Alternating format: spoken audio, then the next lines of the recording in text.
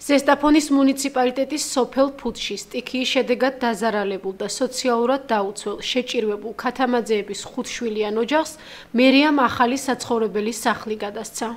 გაჭირებულა ცხოვრობდით რა ერთ ოთახში ასე ერთი ვასული და მე აგლებო თავრობამ კონგრესის გამგებლობამ პატივი მცეს და მეხმარენ და ამიშენეს ეს კაი ლამაზი სახლი და მადლობელი ვარ ყველაფრისათვის დიდი მადლობა ყველასა და კარგად იყავით, გაგაბზანდებოდეთ.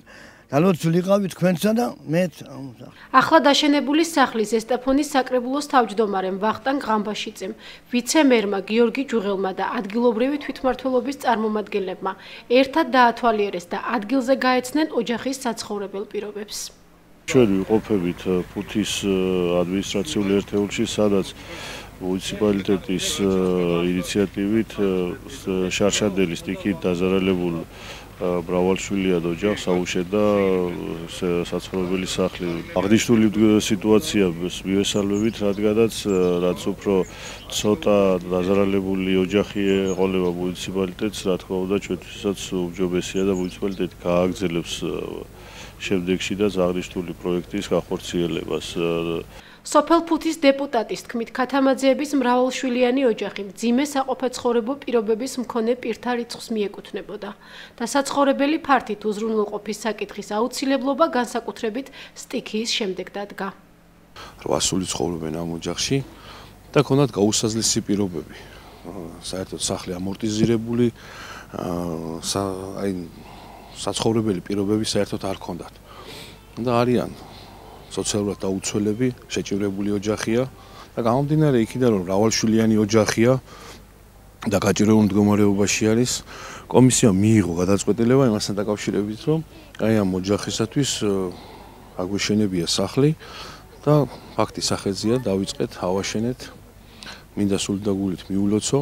ამ სახს ახლა ლამაზად მოვლა და ტექნიკის შეძენა ჭირდება ჩვენი ხრი ჩვენ რაც შეგვიძლია რა თქმა უნდა განცხადების საფუძველზე მათ კიდე მივეხმარებით რომ ტექნიკა შეიძინონ.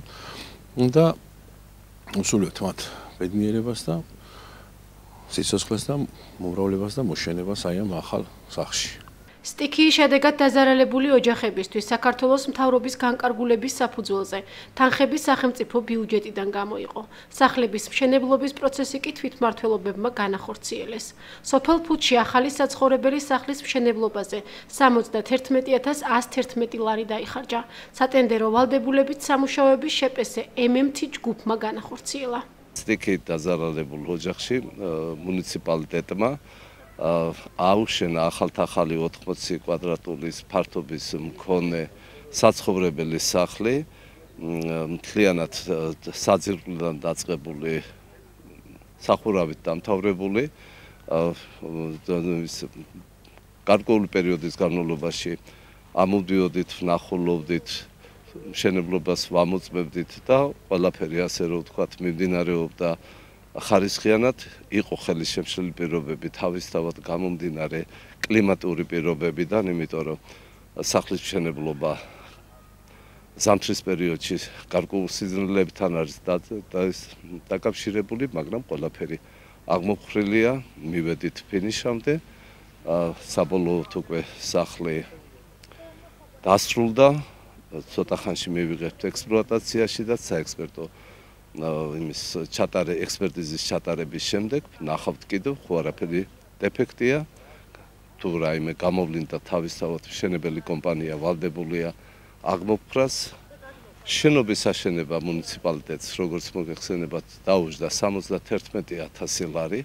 სატენდერო პირობებიდან გამომდინარე მისი ღირებულება სახარშტაღის ღირებულება 78000 ლარს შეადგენდა და 71000 ლარში მივიღეთ აი ასეთი ლამაზი პატარა 80 კვადრატულიანი საცხოვრებელი სახლი. მუნიციპალიტეტში საცხოვრებელი სახლი უკვე გადაეცა ორ ოჯახს, მეორე სვირში და ფუთში. ანალოგიური სამშენებლო სამუშაოები მიმდინარეობს სოფელ შროშაში, სტიქიის შედეგად დაძარალებული ოჯახის დასახმარებლად.